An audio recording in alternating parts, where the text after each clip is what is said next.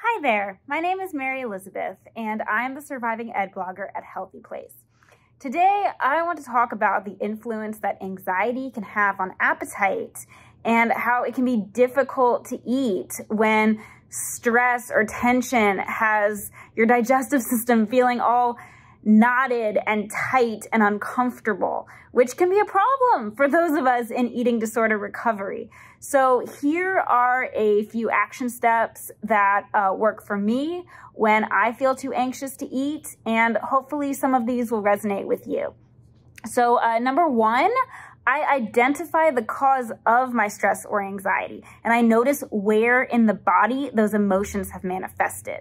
Once I can connect the mental or emotional turmoil with a concrete physical sensation, I can begin to calm that area of the body.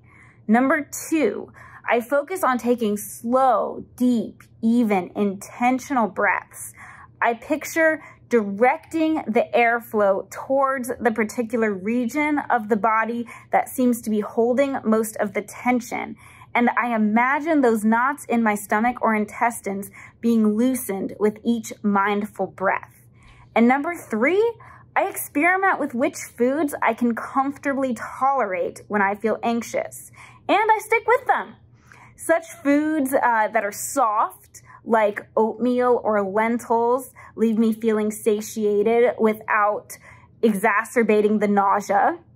Or when all else fails, a liquid diet of fruits, spinach, nut butter, and cashew milk blended into a smoothie fuels me with the right balance of nutrients in an easily digestible format.